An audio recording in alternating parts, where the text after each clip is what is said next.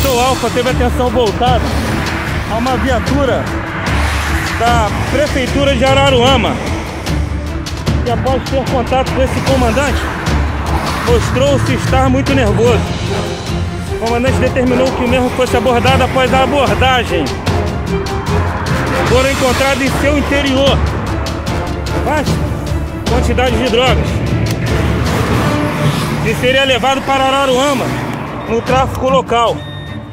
As mesmas foram encontradas no câmbio da marcha, procurando para ver se há mais droga no veículo. Abre, abre, parceiro, abre esse, esse, esse aí, por favor.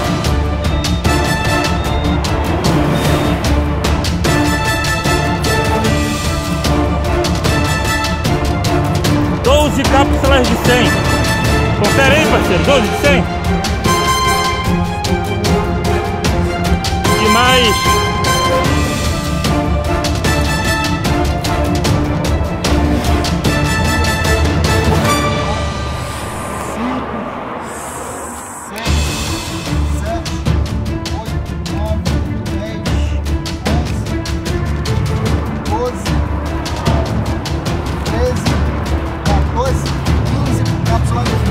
Cápsulas de vinho, sendo aí transportado por, pelo funcionário